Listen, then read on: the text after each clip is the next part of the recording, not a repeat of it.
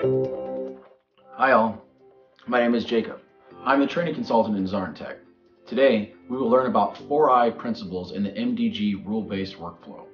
This is a quick and efficient way to implement the rule-based workflow in the MDG. The steps to implement this solution are as follows. Find out the PPOME object ID and object type. Get all the user IDs out of the PPOME object. Find out the original requester of the relevant MDG change request.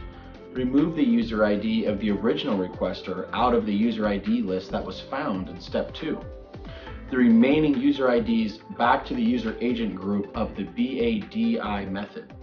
As a prerequisite, please make sure that you have defined a service name for the RBW in the customizing. Let's learn how to do that in a step-by-step -step process. Step one, the service name should be given in the relevant steps in the RBW table, and it is possible to get the object type and ID defined by RBW out of this parameter. Step two, it can be executed with the help of the function module. Step three and four, the decision of the original requester can be done via the MDG change request API or directly via a selective statement on the table.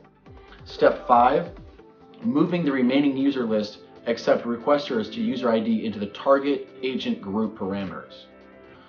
With that, that would be all for today's video. I need to remind you though that ZaranTech has been in the US market for 11 years providing SAP training and certification programs. We provide video and live online training programs with interactive lesson plans and content for you to clear your certification examination. For more information, check out the detailed article posted right below this video. And please, make sure to comment if this video has helped you or if you simply have any questions because we're always here to help. Thank you.